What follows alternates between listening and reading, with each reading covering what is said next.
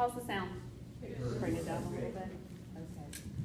Good afternoon. Thank you, Vaughn, and thank you, uh, State Lands, for allowing me to present the volunteer. Hello, Chris. Um, so I just want to, I always like to start off with a little story. And I, I move around a little bit, so if you can follow me a little bit, this good. Um, so in 1999, my then supervisor came to me and said, hey, there's a little spill up in Eureka. It's called the Stuyvesant. How would you like to go up there and do volunteer management? And I'm like, volunteer management? Oh my, that sounds like fun. Sure, I'll go. So I jumped on the Fish and Wildlife King Air, flew up to Eureka, got off at my rental car, cruised on over to the Wildlife Center at um, HSU, Humboldt State University. I walk in and I'm greeted with, well, one, sound, the smells, and I'm like, oh my gosh, it's what I would call organized chaos. And that's exactly what it was. It was organized, but it was chaos.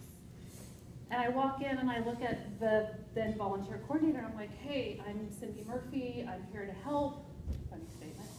And um, she looks at me and she goes, you're with the state.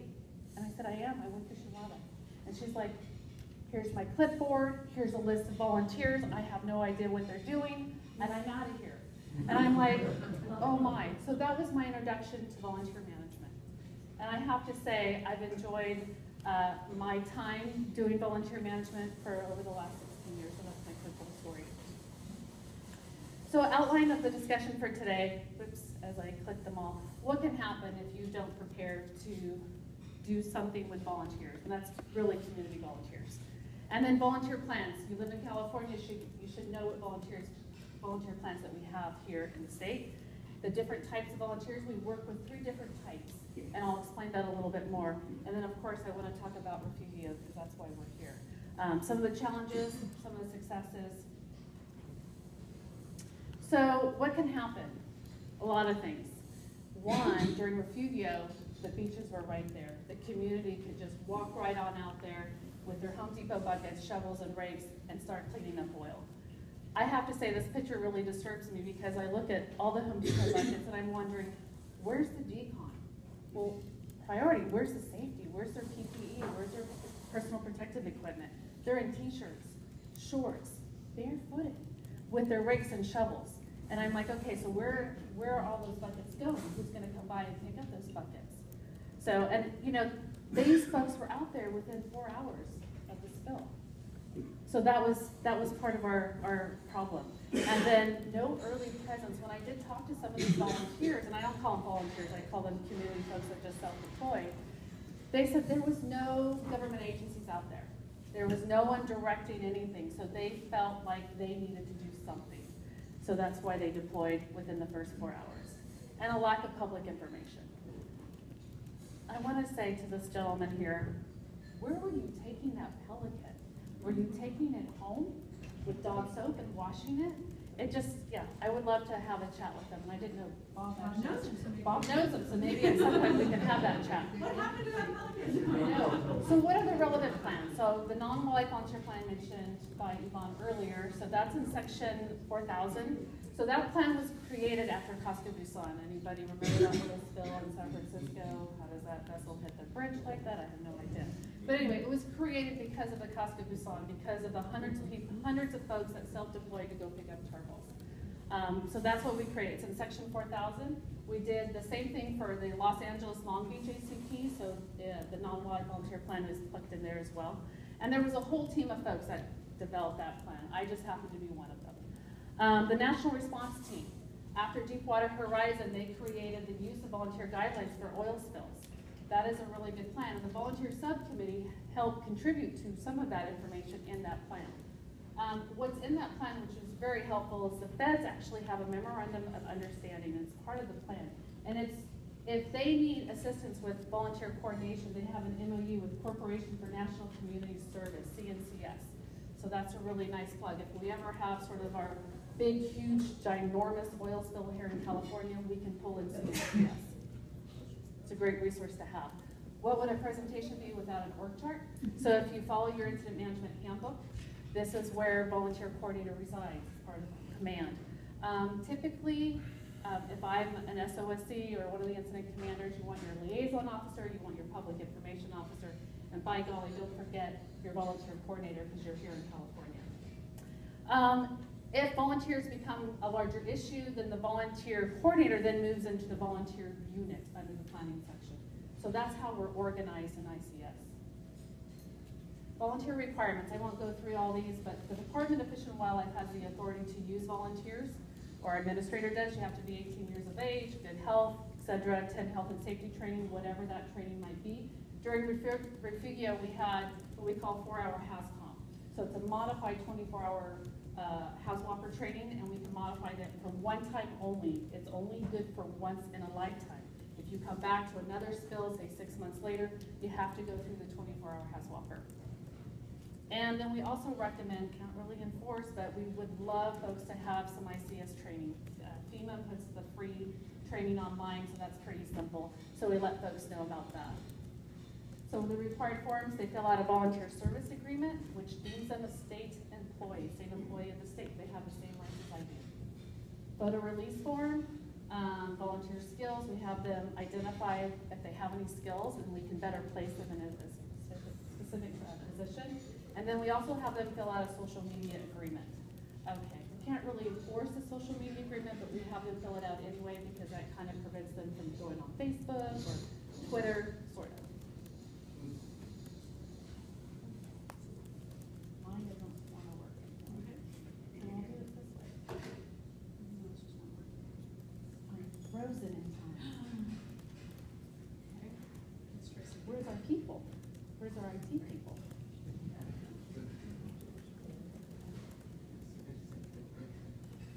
Okay, this doesn't count for my minutes.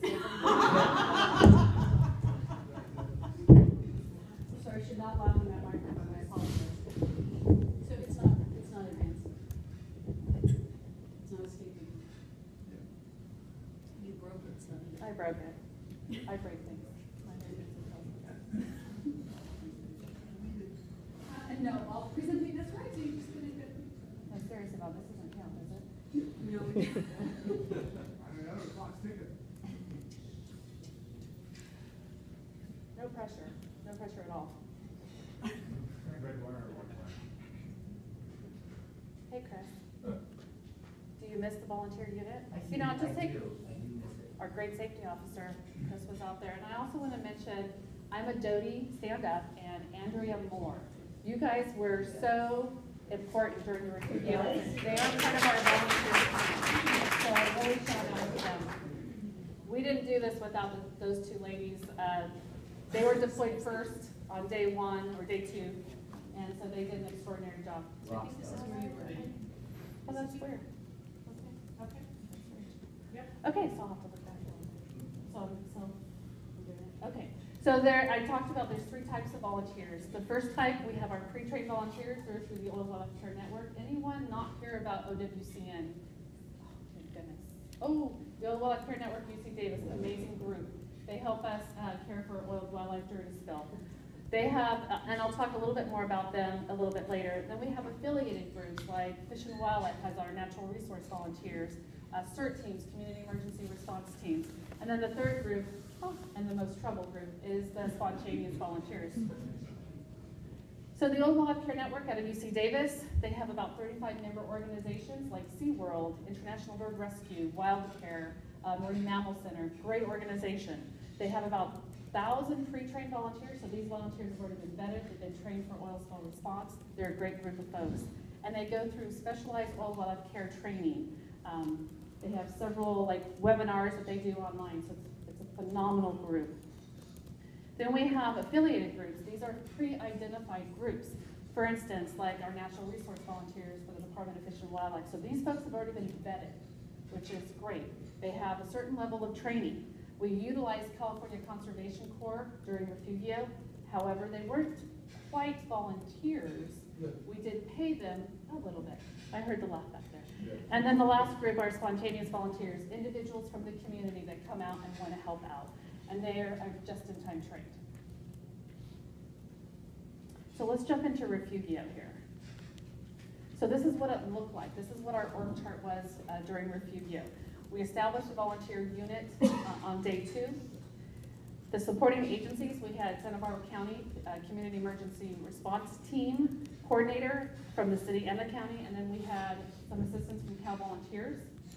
And thirdly, we had folks from UC Santa Barbara CERT, amazing group, so that made up our volunteer unit, along with Department of Fish and Wildlife. Some of the considerations during refugio that we were concerned about, obviously, safety is our priority. Um, so we had safety concerns, uh, what types of tasks these folks should do, community political issues to address. Someone say woo? Yes, a lot of those. And then tribal and cultural concerns, as you know, and you're gonna hear more about that from, uh, Michael. And then lead agency, who was the lead agency in liability? So the Department of Fish and Wildlife stood up and we were the lead agency. So liability, liability was a big question. Of course, when I told you, we actually uh, signed these folks up through our volunteer service agreement. We then took on the li- liability issue initially. However, and I'll say this a little bit later in the presentation, we didn't have one volunteer injury, which was great, and that was a success. However, if we had, we would have billed back to the responsible party. So during uh, Refugio, we had Conservation Corps, I mentioned them, they were out uh, helping some of the contractors uh, clean up um, tar balls. They helped at the staging sites, they helped with traffic control. We had uh, emergency response teams posting signage. We had our natural resource volunteers doing transport. So they were, again, a great, a great resource. Uh, so the CERT teams, they posted fishery and beach closure signs. Um, so we found a lesson learned on posting signage. We actually didn't have them take a lat long. So when we had to go back and pick up those signs, some of the volunteers didn't have very good memories. So um, for- in the future, we will do a lat long, so we know exactly where they are. For the first time, we actually had support from uh, the CERT teams in the incident command post. They were in there on day one and throughout. They were helping docs.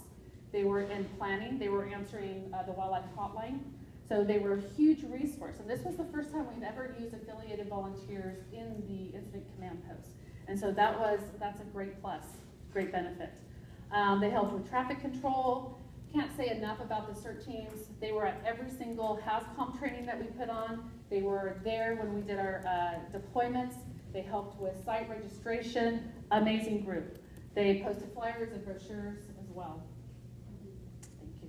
Um, our California Department of Fish and Wildlife Natural Resource Volunteers, they helped with transport, which may not sound like a big job, but it was huge during refugio. Um, traffic in LA, I'll just say enough about that. I'm from Sacramento. I thought I had traffic, not at all. The other big success, so we expanded our volunteer use, the department did. Uh, we made the OSPR registration available online on our Calspill Watch website. Um, we expanded the HAZCOM trainings to the community to assist us uh, picking up tar balls, and so we did a couple tar ball uh, operations, and I'll talk a little bit more in my five minutes. So the snapshot, I'll just give you the numbers. Who doesn't like numbers? Affiliated and community volunteers. We had trained about 263. I can't tell you how many registration forms we had in the queue. Probably closer to $2,000 or $2,000. 2,000. I wish I had $2,000. um, and then we deployed about 159 for tarball uh, cleanup. And then pre-trained volunteers, we had about 77 deployed. The big number here is the member organizations, uh, 21. That was a great uh, um, outpour of assistance from OWCN. So some of the challenges. No early presence from government agencies on the shoreline initially. Remember those folks from the community self-deployed within four hours. So we have to be faster. We have to have folks on the shoreline. Um, environmental conscious community, easy access to the shoreline. The phases of response wasn't really clear to the community. We didn't have a full functioning JIC on day one, and we have to think about that. And then no early response uh, for community volunteers to help out. So community volunteers weren't pulled in until really until day seven. So some of the successes, we use the non-wildlife volunteer plan. It's great to have a plan, kind of the first 24 hours, how do you move forward? Um, we had a multi-agency support in the volunteer unit. We had the city of Santa Barbara, the county of Santa Barbara, the state fish and wildlife. So huge um, coordination with uh, the very levels of um, government. We had an online volunteer registration form, easy access. We didn't have to set up an emergency volunteer center and drive people to the EVC. Folks could sign up online, so that was a good plus. And like I said, we had over 2,000 folks register to um, help out. We utilized community volunteers, and then the community open house was a huge benefit on day 13, I believe he said. But again, day 11. But I think we needed to do that a little earlier. The big plus is no reported volunteer injuries.